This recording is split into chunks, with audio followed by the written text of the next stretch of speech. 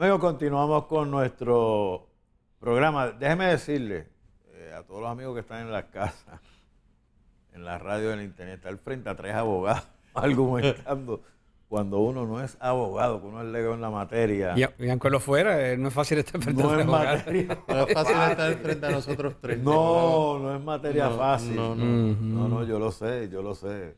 Este, pero aquí estamos para dar la batalla. ¿A qué propósito? Y vamos a estar claros, es que, que todos los amigos que nos acompañan puedan tener un mejor conocimiento más amplio de los derechos que tienen y cómo es que funciona, el, cu- cu- cuál es el procedimiento, porque podemos pensar, al no conocer las leyes y los protocolos, famosos protocolos, este, que las cosas se deben trabajar de una manera y pensamos nosotros como ciudadanos a pie, como digo yo, pero el sistema establece otra cosa, por eso fue que dije que yo puedo entender que mi estilo de vida requiere y es un mandato que tengo de andar en pantalones cortos todo el tiempo. Pero si yo voy a ir a un tribunal, yo no puedo ir en pantalones cortos porque allí hay un dress code, allí hay que ir de una manera. Correcto. Y entonces pues yo tengo que adaptarme porque yo vivo en una sociedad, yo no vivo en una isla solo aparte para hacer lo que yo quiera y esto pues, Claro, lo tienes que claro. aceptar porque yo creo en esto, punto, se acabó. Pero lo que pasa es que en lo que tú crees, inmediatamente que afecte a un segundo, independientemente de quién sea ese segundo, ya está, hasta ahí llegaron tus derechos. Ya pasaste la raya. Entonces tiene que entrar la sociedad a establecer qué es lo que es correcto. Claro, claro. Y, y ningún sistema va a ser perfecto. No. Eso, lo- eso lo te- estemos claros ahí, pero estamos señalando los, los puntos donde, en los cuales se puede mejorar o, o donde hay tendencia. Claro, cuando yo me, me refería al caso, al caso de, de Elías, yo me estoy refiriendo a un caso específico, ¿sabes? Yo no, yo no estoy hablando de, De- la totalidad de la los casos que se puedan eh, eh, eh, manejar y que, y que son muchos. Y, y, el- y lo que dije respecto al departamento de la familia, en, en el caso de Mateo, lo, puedo- lo reitero al día de hoy, me En puedo sentar y mirar de. De ese caso en específico, este, me reitero porque, porque lo viví. Y sé también muchas veces de dónde vienen, eh, dónde vienen los problemas. Y eso es un indicador que, que sí es importante para, para todo funcionario, que es cuando hay por el medio una convicción eh, y, cómo se hace un balance entre el bienestar de menores y esa convicción. ¿Y cuál era el balance según ellos de, de, de, de-? Aplicarle una serie de procesos convencionales en un hospital para que se volviera como un monstruo. Por eso es que vamos, vamos a seguir las reglas de juego. Decir, bueno, al fin y al cabo, este, este niño tiene una enfermedad incurable y ha sobrepasado la expectativa de vida de una manera espectacular. Lo que debieron haber concluido Que algo bueno estaban haciendo. era que algo bueno estaba haciendo la familia y no concluir de que el funcionario que, que- que investigó eso como un como que se graduado como un perfecto ignorante decirle voy a pasar por encima eh, a los criterios porque yo creo que lo mejor es que vaya eh, eh, ponerlo en un hospital. Porque eso, eso es un argumento demasiado simplista sobre todo cuando estaba, cuando la propia medicina que le podían aplicar estaba diciendo que era una enfermedad incurable. Y, y esto es bien, pero que bien sencillo. Yo lamento que en ese caso no se llevara después eh, un- un- una, una reclamación eh, eh, Un de, derechos civiles Ahí realmente. tú tienes un caso bien interesante vamos a usar eso de ejemplo. El problema es cuando se mezcla la ley con los medios de comunicación para levantar opinión pública. Claro. Y yo entiendo que la opinión pública cuando se maneja correctamente, aquellos que les interesa manejarla y logran ese acceso a los medios y tener esos controles, afectan los casos de una manera u otra, positivo o negativamente, no voy a, a emitir juicio de qué manera, pero los afectan Ah, afecta. los afectan grandemente. ¿Y tú sabes quién es la víctima?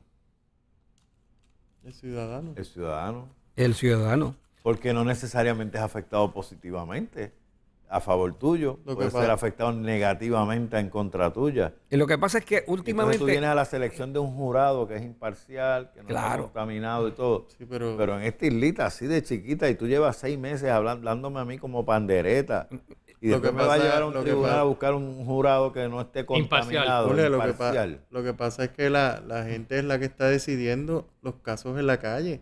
O sea, la opinión pública es la que está tomando las determinaciones que le corresponde al tribunal.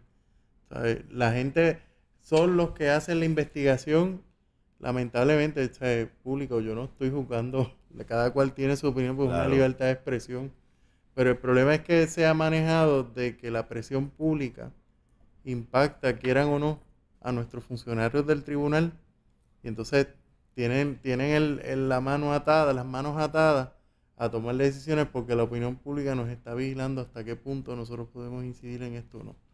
Y el problema de eso es que cuando nosotros tenemos un caso, que ningún caso es igual, vuelvo y me reitero en eso, lo dije al principio, y eso lo hemos hablado en varias ocasiones en este programa, que siendo ningún caso es igual y no siendo igual, no se puede resolver de la misma manera. Por eso es que cuando la gente llega a la oficina y me dice, licenciado, lo que pasa es que en aquel caso me pasó lo mismo mío, no, este que tu caso es particular. O sea, la gente tiene que entender que cada caso es particular. Sobre los casos de interés público, pues se manejan muy mal, o sea, esa es la realidad. O sea, aquí todo el mundo puede opinar, puede sentarse en, una en una mesa y decir decidir el caso sin antes verlo. Y hablar categóricamente sobre cosas que Hay casos que no se han visto ni en una regla 6, que están en investigación y ya la gente ya tomó la determinación que le corresponde al tribunal. Y eso es un buen ejemplo que están trayendo del efecto de, la, de las comunicaciones y qué bueno que, que nuestro eh, moderador pues es, experto en eso y conoce eh, el impacto de, eso. Yo te puedo decir que un área de impacto, retomando el ejemplo que, eh, que trajimos del caso anterior, un área donde el gobierno tiende a veces a fallar, cualquier gobierno, por la naturaleza humana, es aquel que envuelve una, una convicción en la persona, que se, se tiende muchas veces a, a juzgar mal y entonces eh, se, tiende a tomar livianamente. Perdona que te vamos a cambiar la palabra convicción, yo la entiendo perfectamente, pero como estamos hablando en términos legales, la gente puede entender que esa persona ha sido convicta por algo. Convicción religiosa. Eh, eh, vamos a hablar de... Creencia, sí, sí, pero va más, allá de la creencia. Para la duda. A casi nadie lo juzgan por, la, por lo que cree, es por lo que, por lo que habla, por lo que dice o por lo que ejecuta. Por lo que hace y por lo por que la expresión de su creencia eh, religiosa, hablemos eso. Pues, esa área, por ejemplo, cuando la persona tiene una, una, una, una, expresión de conciencia, y cuando te hablo de, libertad o creencia religiosa, no estoy pensando eh, en lo que le puedan enseñar en la iglesia, estoy hablando del individuo, que, tenga esa convicción personal sincera. Cuando, cuando eso es así, pues muchas veces eh, se, se tiende a fallar, porque entonces eh, eh, el Estado, ¿cuál es la convicción del Estado? O sea, supuestamente el Estado no se mete con nadie. Claro. Ajá, es neutral. Y entonces, ¿cuál es la convicción del Estado? ¿Cuál es la convicción del Departamento de la Familia cuando quiere ser papá? Pues entonces estamos yéndonos a, a, unos test que a veces son etéreos y en algunos casos no queda más remedio, pero en otros casos sí queda remedio. Porque entonces se nos quiere imponer un sistema de creencia, el que sea el sistema neutral, eso, eso como que no existe mucho en la realidad sociológica. nadie es neutral, nadie, es neutral. Así es que eh, hemos establecido un test que es el mejor bienestar de la familia, el, perdón, del menor. Asumiendo que, eh, que, apliquemos ese test, pues vamos a aplicar el mejor bienestar de la familia. Ahora, si el ejemplo es que alguien se quiere alimentar de X o Y manera y que y un papá le dice, no, no, yo quiero que, que mi hijo se alimente eh, en esta escuela no le den estos alimentos y le den este, este tipo de cosas, o que no le den carne o que quiere ser vegetariano. ¿Por qué nos vamos encima de eso? El Estado tiene una data absoluta de que los que comen de la manera que ellos, que la mayor parte de la gente dice que comen no están enfermos. o, a, lo mejor esa familia puede traer evidencia. Que tiene una condición. No, yo te puedo, traer, la, yo te puedo traer la evidencia y tengo la, la, convicción, por usar la palabra que dije que no utilizáramos, este, de que mi dieta es la correcta, pero ahora yo voy a ser de devil's advocate, abogado del diablo como dicen. Este, yo tengo en el sistema de escuela pública 650 mil estudiantes. No quita nada que yo tenga 100 mil de esas familias que tengan unas dietas en específico que son distintas a esas 100 mil de las otras 550 mil que me quedan. Entonces, el departamento no se puede envolver no se pueden volver a atender cada una de esas dietas para complacer, pero sí me debería de dar a mí la oportunidad entonces, y yo he visto esto, no estoy hablando ahora de Blue Skies, yo conozco casos que los padres entienden que sus hijos deben tener una dieta en específico por la razón que sea, se les respeta, pues se le permite que le lleve esa comida a la escuela. Sí, eso iba a mencionar, de hecho. Yo te permito que tú le lleves esa dieta entonces a mi hijo, a tu hijo, a la escuela para que él coma lo que tú quieres. Y no lo estigmatices. y, no me estigmatices al muchacho porque yo le lleve la comida tampoco. Pues, o sea, no permita que le hagan bullying. Eso sería más violento que ah. obligarlo a comerse la otra comida, perdóname. Eso sería más violento. Ahí sí que podríamos intervenir. Pero ahí el papá cumple con uno de sus deberes esenciales, alimentar. Pues claro. Y el pues Estado tiene que permitir. Ahora, podemos también ir al otro argumento.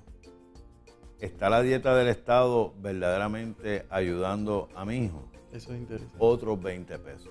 Y podemos determinar que no, por muchas Pero, y de esos otros 20 pesos se habla mucho en este programa, en, otros, con otros paneles, pero fíjate que, y, a otras horas continuamente hablamos de eso. Pero, pero yo sigo reclamando mi derecho. Claro que Yo le doy a mi hijo lo que yo quiero que coma y entonces pues tú me permites dentro del sistema yo llevárselo. Porque la convicción mía es tan grande y tan poderosa que nadie, nadie me la va a afectar. Óyeme, yo no creo que el Estado tenga muchos argumentos para hablar de, buena salud en, cuanto a la gente, ¿sabes? Amigos, vamos a una pausa y continuamos con ustedes en breve.